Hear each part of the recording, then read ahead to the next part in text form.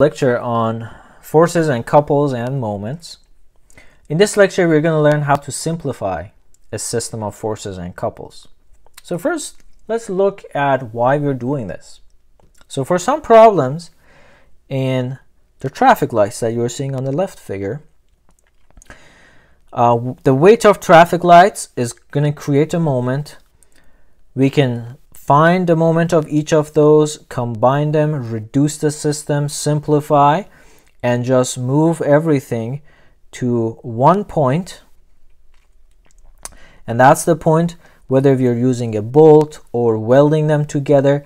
And that's all we care about. So instead of dealing with forces of weight right where they are and finding the moment and stuff like that, I can just move everything to one point and deal with one moment and one force and it's much simpler.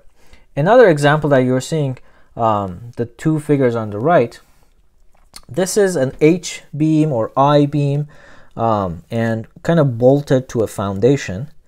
And for some reason, it, it has, what, two forces, F1 and F2, and a moment um, that is applied to it. And in order to design those bolts or the weld of the I-beam to the uh, foundation plate, it is sometimes much easier to just replace everything, bring everything back to point O, and replace it by just one force and one moment. It's much, much easier to deal with that um, and now go about designing those bolts and foundation plate. So now we're going to learn what happens when you start moving forces around. Can we even move forces around? So here's an example. The goal is move F to point B and see what happens. Okay, so it's just a beam. Someone is pulling on it, someone is holding it at point B, and we want to find can we move F to point B and what happens if we do it. So let's add a plus and minus F to point B. So adding F and minus F, add B. That shouldn't affect anything on this beam, right? The whole point is this person that is holding this B beam at point B shouldn't feel any difference by moving that force there. So adding F and minus F at point B. Now let's see. Now let me this force, use this force to cancel this F. As a result, I can get force F at point B. So F is now moved to point B. Okay, goals achieved. So in this case, I was able to just slide force F and bring it to point B. Well, what if I have a beam like this? Again, the goal is the same. Goal, move force F to point B and see what happens. Okay, I'm going to do the exact same thing, adding F and minus F, add B. All right.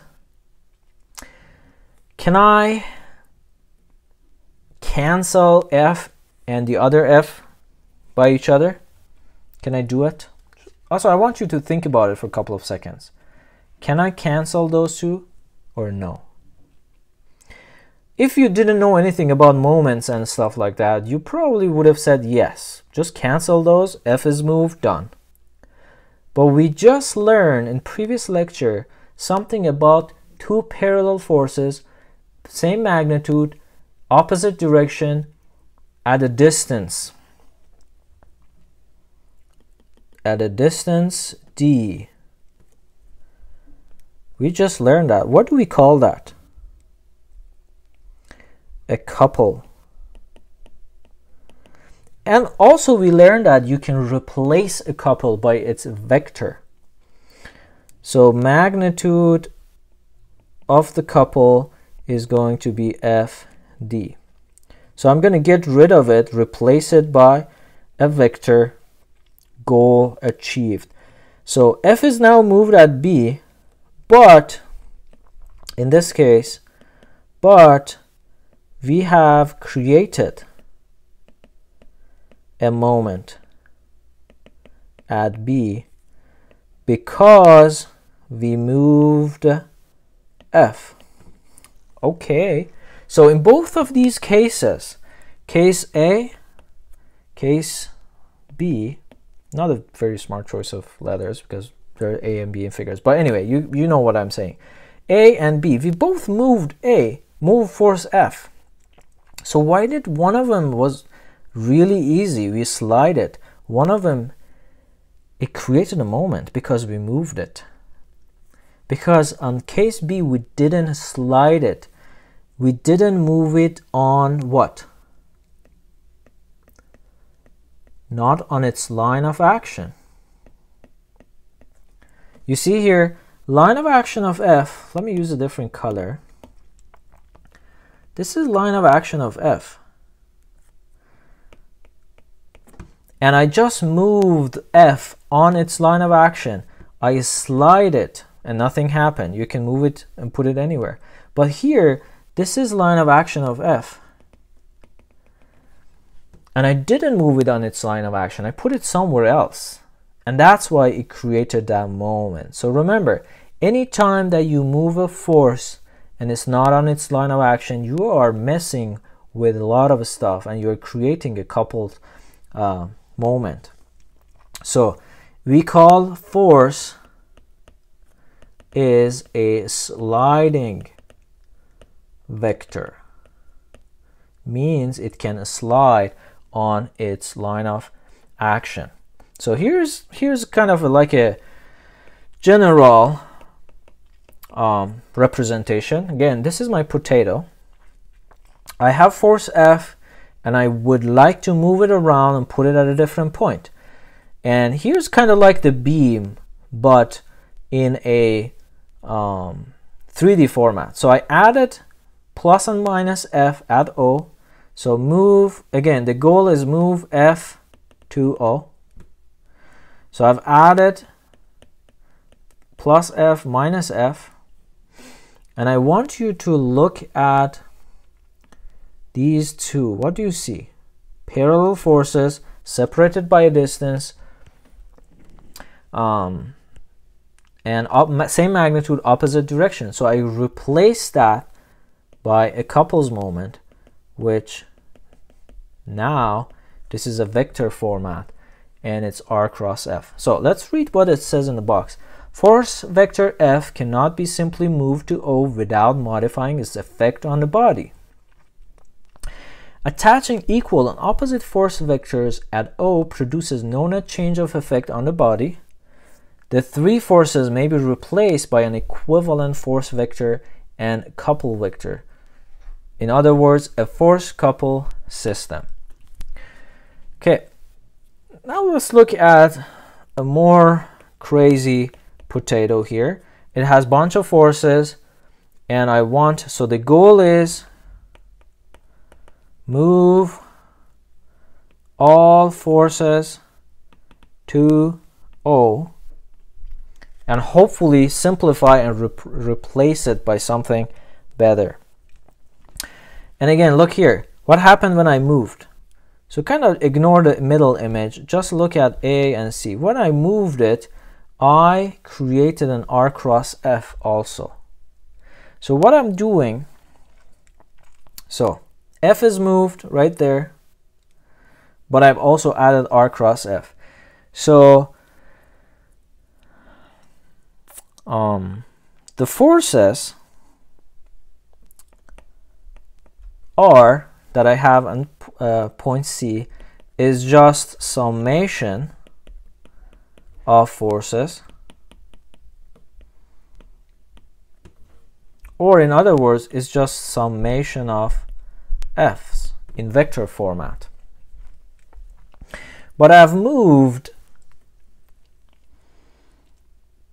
them and it's not on line of action or it could be on line of action I don't know. But just to be safe because I'm moving it the M about OR is a summation of each of the r cross f's that I put there. In other words, it is m1 plus m2 plus m3. So I moved f1 2.0 and it created a moment m1. f2 move 2.0 created a mo moment m2 and so on for f3 and now I just simply added the moments together and added the forces together. So one important thing that I want you to remember is yes, they're all vectors, but there is a big difference between them. This vector is a force multiplied by distance, and this is just the force.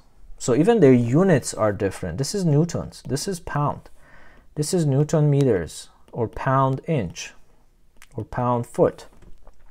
So yes, you, you in the figure B, you see all F and M's and they're all vectors, but you cannot just add everything together and just replace it by one vector because their essence is different. One is force, one is force multiplied by a distance. So in general, in general, I want to add something here.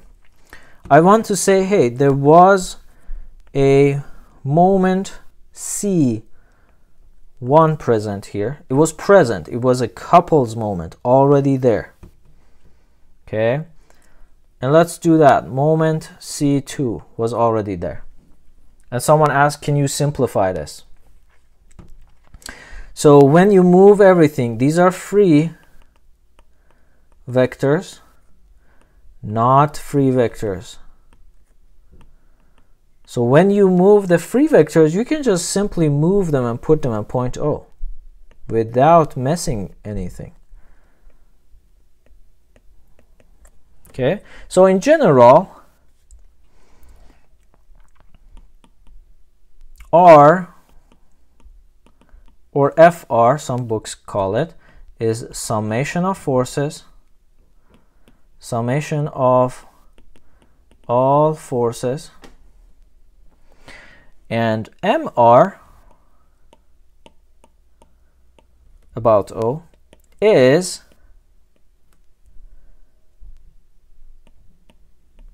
summation of r cross f's plus summation of all couples moment.